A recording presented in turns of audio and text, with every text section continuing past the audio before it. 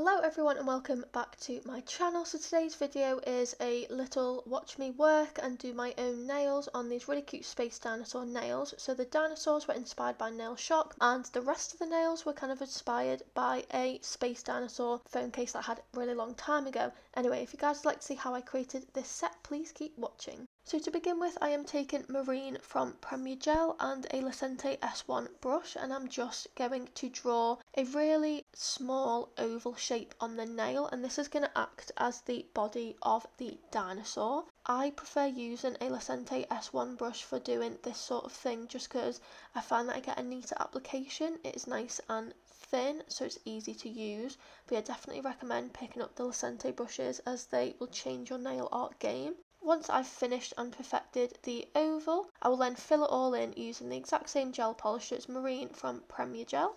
To fill in the oval, it probably would have been easier to go back in with my Lesente D3 brush, but for some reason I just carried on using my little striper brush and it did make it a bit more time consuming, but we got there in the end. But yeah, I definitely recommend going in with a bit of a thicker brush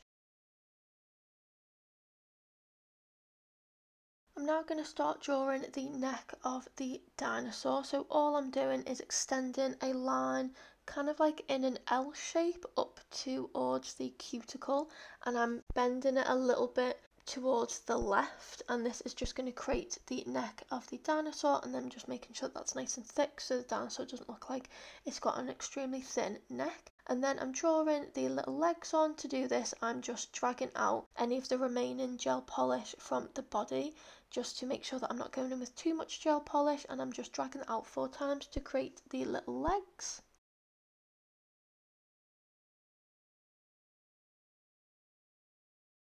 So for the head of the dinosaur, I'm just getting the initial shape with a dotting tool and then linking the little dot to the neck with my brush again and that's what it should look like after you've done that. I'm then going to cure it for 60 seconds and then go in to create the eye of the dinosaur and I'm just using a dotting tool and a fine brush. I'm then going in with Jellie Gel Polish Bon Bon and this is going to create the little dots on the dinosaur. So just doing that with a really fine dotting tool and again you want to make sure you're curing that for the full 60 seconds after you've done that and that is your first little dinosaur.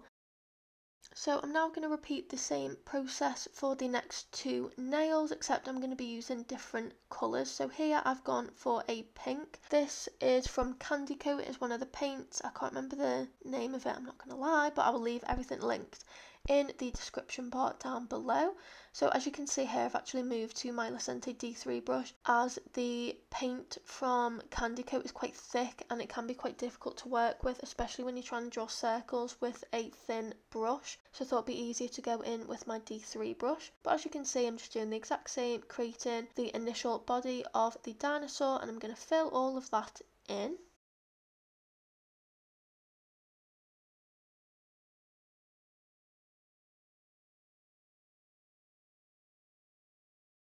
I must have found it easier to work with the Lesente D3 brush as I've kind of stuck with it. So as you can see I'm just doing the exact same for the neck and the head of the dinosaur, just extending that out. And as you can see it is like an upside down L shape and just making sure that the dinosaur's neck isn't too thin as you don't want to don't want it to look like your dinosaur's got a teeny tiny little neck. And then again, just dragging out any excess gel polish on the body to create the little legs. I did actually draw a little tail on this dinosaur, but I think I did it out of shot. But to create the tail, all I did was drag out a little bit of gel polish, again, like I did on the legs. I'm then going in with a dotting tool to create the head of the dinosaur and then cure it for 60 seconds before going in with the dots and here I'm using key lime from Jellie Gel Polish to create the little dots and then again we're just going to go in with the eyes. You want to make sure that you're getting your eyes perfect here. It was really difficult to do but you just need to make sure that you are really concentrating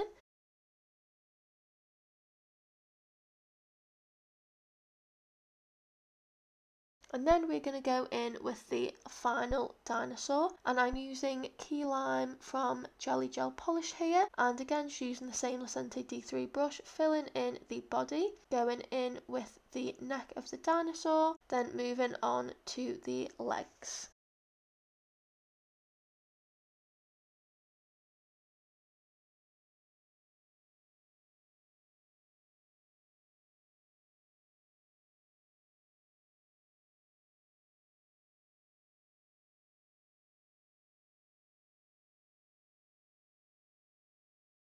So I thought it'd be fun to mix this dinosaur up a little bit. So I went in with Marine from Premier Gel and I'm just creating little spikes on the dinosaur. That was really challenging. I ended up having to do it off camera because it was so hard to try and record whilst doing it on camera. And then going in with a really fine dotting tool and adding some little spots again using the same pink paint from Candy Coat and drawing on the eye of the dinosaur.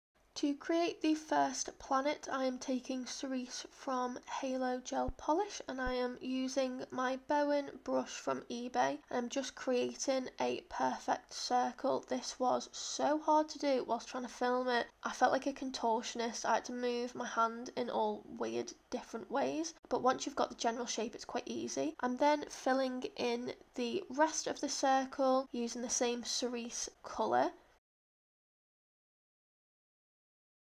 Again, it probably would have been easier for me to go in with a thicker brush, but I think I was just that busy trying to concentrate on what I was doing at the time, I just didn't even think. Then I am going in with the 01 paint from Candy Coat Paint, which is a white, and then Marine from Premier Gel, and I'm just going to swish them all about, swirl them round so it looks like a planet from afar, and then I'm going to cure that for 60 seconds. I'm then going in with the black gel polish to create the space background. I wanted to do like a glittery background, but unfortunately I didn't have a glitter that was appropriate, so I just went in with a plain black, and I went in with the black afterwards as this is actually easier because when you are drawing your planet you want the colours to be as bright as possible so if you draw colours over a black background they will come out looking more dull whereas if you paint them over a neutral or white background they will look a lot more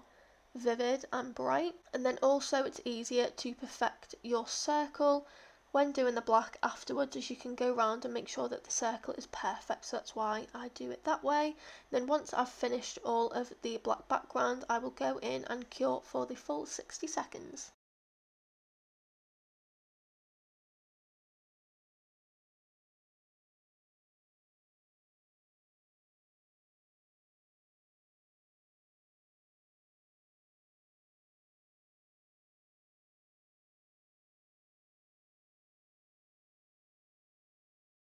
and on my little finger I'm doing the exact same as I did on the thumb but I'm going in with different colours. So I took Premier Gel Marine again. I'm trying to keep it so all the colours were matching and they all flowed.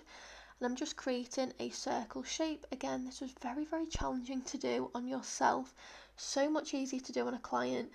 But yeah I'm just going to go and create that circle using the Bowen brush again. I'm going to fill in that whole circle. Make sure that you do not cure it as you need to make sure that you can marble the colours all together. I'm then going to take the same white that I used from Paint and Bon Bon, oh no sorry, Key Lime from Jellie Gel Polish and marble all them colours together. It's really easy to marble, I just use a brush for this one. Basically just swirling the colours all together. I've actually done a tutorial on my YouTube channel previously on how to create marble so if you're unsure make sure you go and check that video out. I will leave it linked in the bio. I'm then going to cure that for the full 60 seconds and then again just go in with the black gel polish you want to make sure that you are getting as neat of an application as possible so I was making sure that I was using a very thin brush for this making sure that you are getting your circle as perfect as possible and also making sure that you are getting the gel polish right up to the cuticle and the side walls of the nail as well so everything looks nice and neat.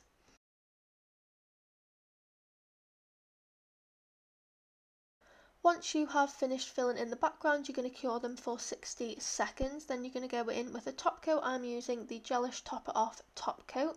Again, once you've applied all your top coat, you want to cure it for 60 seconds. And then when they come out of the lamp, you are going to wipe them, wipe the inhibition layer off the nail that is, and then apply your cuticle oil. The one that I use is one that I actually homemade myself and it smells like lavender. It's bloody lovely. But yeah, and then you have the finished set. So this set of nails was actually inspired by Nail Shark, as I said earlier on, but also my Xbox name. So my Xbox name is Space Dino. I know it is absolutely ridiculous, but we couldn't think of a good Xbox name at the time. and I had a phone case that had space dinosaurs on and I thought that would be quite a cute name because space is cool and dinosaurs are pretty cool as well. But yeah, hope you guys enjoyed this tutorial. If you recreate this set, make sure you tag me in them on Instagram so we can have a nosy. And if you did like this tutorial, I know it's not everyone's cup of tea, but they are very me and I really enjoyed doing this set. I think they scream Louise. It's they're very fun and they're cute. I really like them. Hopefully you guys do as well. So make sure you give this video a big thumbs up and subscribe if you haven't already. And I will see you guys in my next video. Bye everyone.